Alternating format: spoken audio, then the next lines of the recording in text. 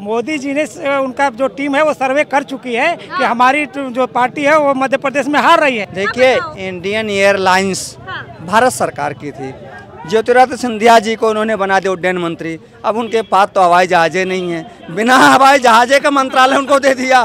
क्योंकि रतन टाटा ले गए वापस?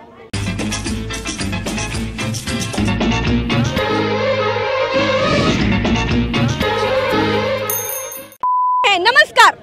हाँ मैं कुबेर कुशवाहा। क्या बात है? आपका नाम बहुत बढ़िया है कुबेर जी।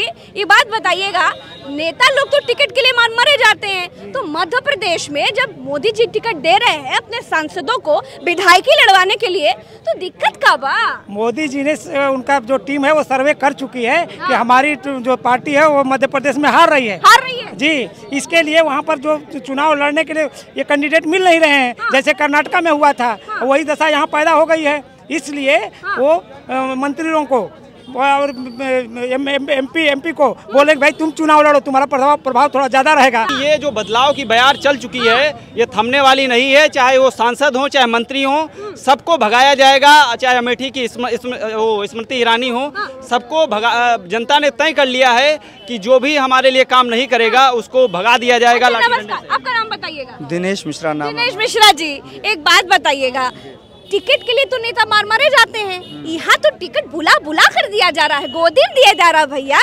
तो टिकट लेकर काहे लड़ना नहीं चाह रहे? बीजेपी के टिकट से मध्य प्रदेश में लड़ने में डर काहे का? देखिए इंडियन एयरलाइंस हाँ। भारत सरकार की थी। ज्योतिरादित्य सिंधिया जी को उन्होंने बना दिया उड्डयन मंत्री। अब उनके पास तो हवाई जहाजे नहीं है। बिना हवाई जहाजे का मंत्रालय उनको दे दिया। क्योंकि रतन टाटा ले गए वापस? ठीक है? अब वहाँ पर जिसकी खुद मालिक की ही हैसियत नहीं रहे लेकिन कैलाश विजयवर्गीय कहे हमने तो प्लानिंग कर ली थी। हवाई जहाज़ से आएँगे भाषण देके चले जाएँगे लेकिन पार्टी ने विधायकी का लड़ा चुनाव लड़ने के लिए देखिए एक चीज़ बता दूँ कि जब कोई आदमी हाथी पर बैठता है तो गधे पर बैठना पसंद नहीं करता। अब जो सांसद हो चुका है वो जो है विधानसभा का चुनाव पंचायत का चुनाव और ग्राम मोहल्ले का चुनाव तो नहीं लड़ेगा। ये कह रहे हैं निर्मल मन जन सो मोहि पावा। मोहि कपट छल छिद्र न भावा। ये हनुमान जी के शब्द हैं। तो हनुमान जी ने इनको लतिया दिया है और गदा लेके खड़े हैं। तो इनको पूरी देश ने नकार दिया है। व्यापम घोटाला का हिसाब करेगी। सत्रह साल का हिसाब करेगी। जो पीछे साल, ढाई साल, तीन साल में सरकार गिरा करके इन्होंने किया था, उसका हिसाब जनता करेगी। और अब की बार शायद नरेंद्र मोदी या केंद्रीय सत्ता के लोग आएँगे मध्य प्रदेश में।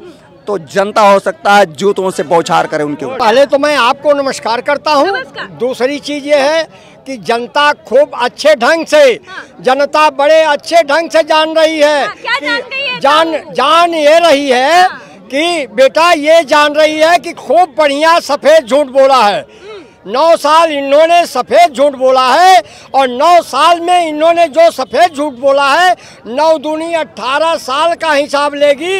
हो सकता है गुजरात प्रदेश में जब रहे हैं, तब भी का हिसाब लेगी।